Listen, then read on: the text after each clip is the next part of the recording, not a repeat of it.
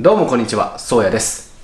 はい、えー最近ちょっとですね、えーバタバタしてて作業が全然進んでないんですが、今回はこちら、前回取り外したダッシュボードの、まあ、復元というか、修理というか、えーぼちぼち使えるようにちょっとやっていきたいと思います。これを外した時は、ダッシュボードの成形からもうやり直すかなーって思ったりもしたんですけど、最近ちょっと時間がなくてですね全然作業ができない状態なんでとりあえずまともに使えるようにしていこうかなという感じでやっていこうと思います。というわけで今回やる作業はまずもともとあったであろうスピードメーターの交換。今ここは空燃ピ系が刺さってる状態なんで今もこれ配線切ってますけどこれを交換していきます。であとはよくわからない状態になっている純正ハーネスを復元できるところをま復元してとりあえず分かっている箇所だけでも綺麗に復元していこうかなという感じです。もう切りっぱなしの配線とかもあるんですけどもともとどの配線だったかっていうのもね、えー配線図見た感じでは多分その先が残ってないんで復元しても無意味だろうという感じでそういうとこはもう絶縁処理をする予定です。はい。で Z の部品ってね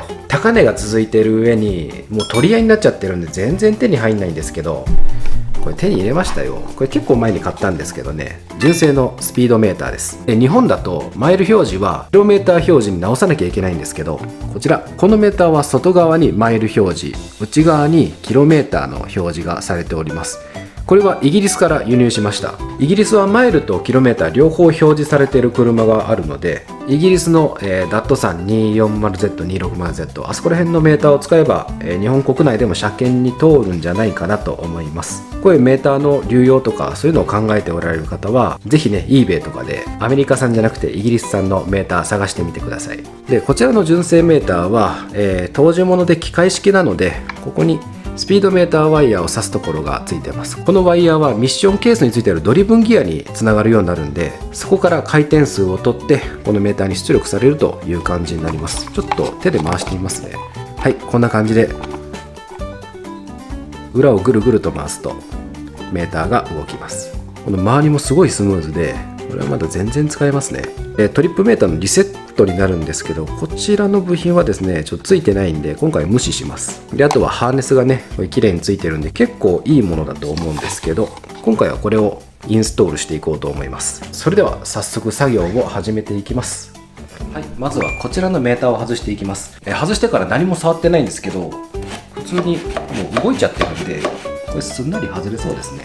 でも奥に押し込めば外れるようです。よいしょおなんか当たってるね。よっはい。あっさりと外れました。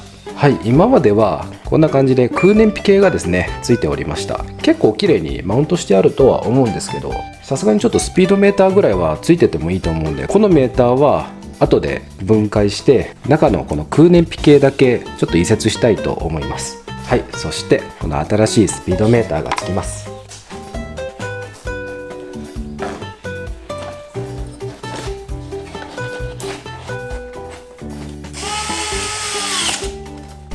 はいちょっとどんな感じになったか見てもらいます。よいしょ。こんな感じでつきました。いいねやっぱスピードメーターくらいはないとねいかんですね。はいというわけで新しいメーターの取り付けはもうすんなりと終わったので、えー早速このハーネスをちょっと整理していこうかなと思います。まあちゃんとつながってないところとか絶縁不良のところをえーちょいちょいと手直しするぐらいなんでぼちぼちやっていきたいと思います。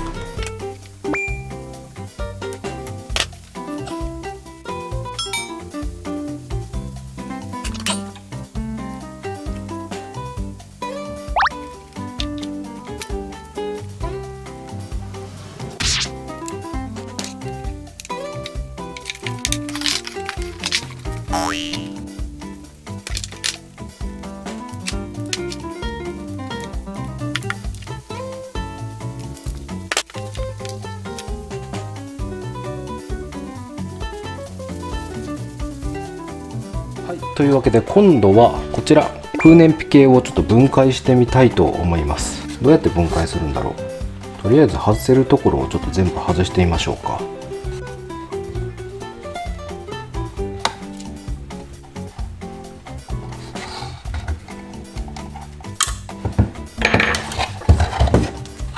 外れるかな？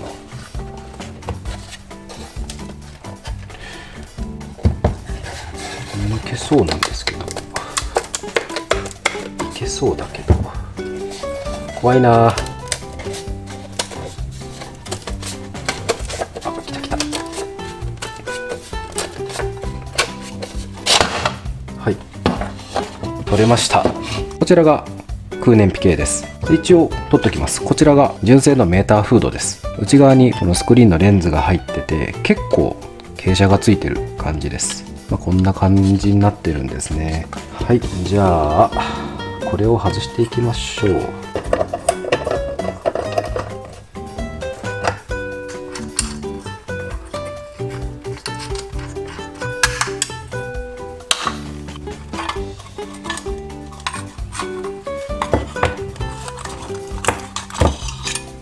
おあこれマジックテープでくっついてるんだ。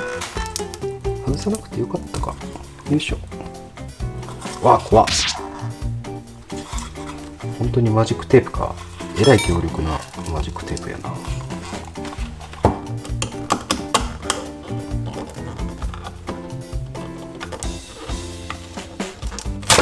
いしょ。はい取れました。裏面にマジックテープでついてたんですけど両面テープの方が負けてますね。マジックテープの意味がない。てえなこれ。すごい固っ、は何このマジックテープ？あ外すこと考えてねえだろ。うわ硬い。あちぎれた。はい取れました。こちらはハルメーターの AF30 っていうモデルみたいですね。空燃皮系って数字で出るものしか知らなかったんですけどこの AF 系はこちらがリーンこちらがリッチ。F1 のタコメーターみたいにインジケーターで動くタイプです。おそらくこの真ん中あたりに合わせるのが一番いいぐらいなんじゃないんでしょうかね。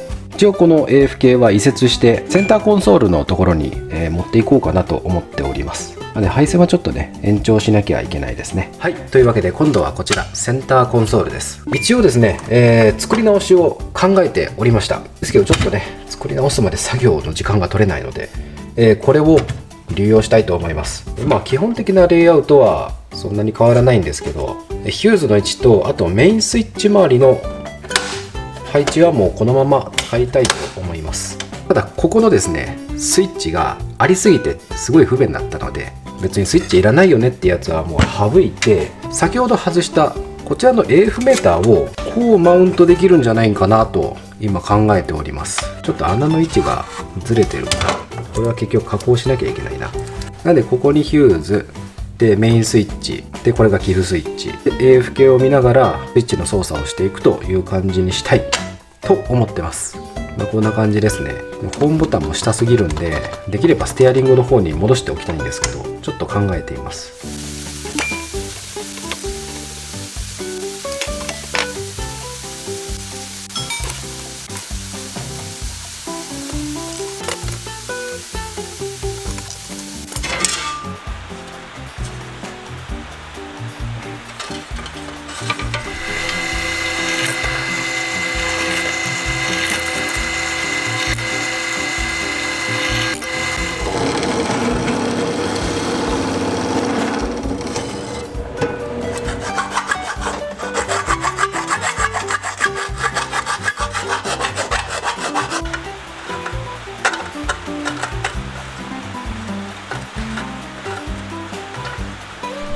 はいもともと本がついていたところに電圧計を持ってきました。でちょっとねバリがところどころ目立つんでバリ取りをするんですけどこの工具めっちゃ便利ですよ。これハンドリーマーっていう名前だったと思うんですけど穴のバリ取りをする時ってちょっと大きめのドリルを当ててこうバリ取りをしたり、まあ、ヤスリがけをしたりリューター使ったりですねいろいろあるんですけどこのハンドリーマーはこうぐるぐるぐるっと回すだけでバリ取りができます。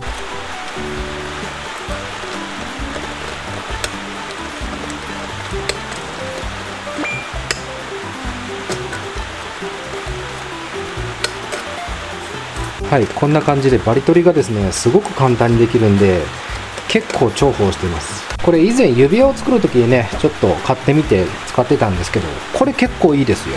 先端の刃はここのボタンを押してワンタッチで交換式になってるんでこれ金属加工とか DIY される方は1本持っておいたらすごく便利な工具なんでおすすめします。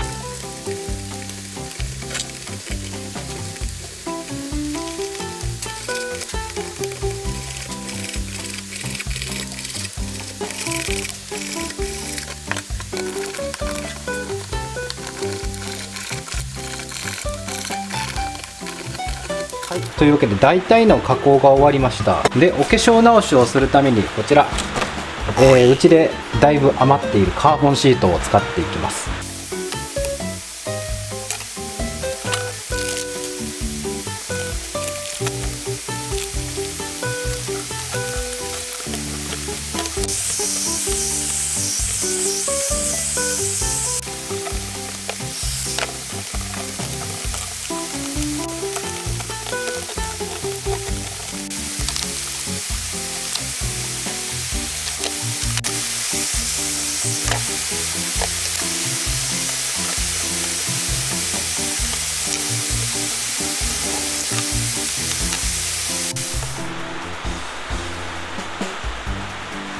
はいというわけでこんな感じで完成しました。いやカーボンシート難しいわ。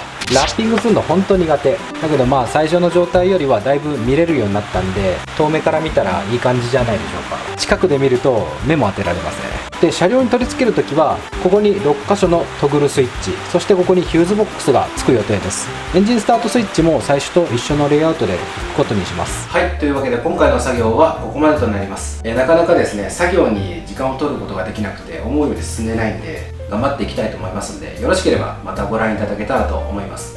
ここまでご視聴ありがとうございました。よろしければチャンネル登録もよろしくお願いいたします。それではまたお会いしましょう。バイバイ。